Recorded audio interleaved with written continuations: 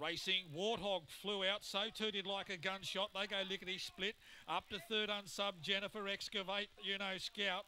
They were followed coursing very wide. There was Kathy Austin. Jaffa misses a long way back. Coming to the corner, Warthog in front. Trying hard is like a gunshot, but Warthog coast to coast from like a gunshot. I think Excavate's got up for third just to nab Myala Griffo.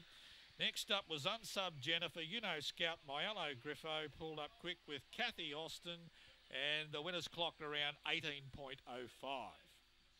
Warthog. That was he, her best box manners tonight for Rose Camilleri from Grabben Gullen, all the way from Sapphire Country. Like a gunshot, number five will get second. Excavate is prominent in the photo for third here, but don't hold me to it. 10.30 was the run home. So Warthog run a couple of nice placings.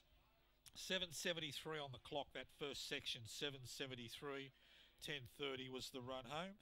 And uh, Warthog is prepared by Rose Camilleri, and she's a daughter of Cosmic Rumble, out of 50 a kiss.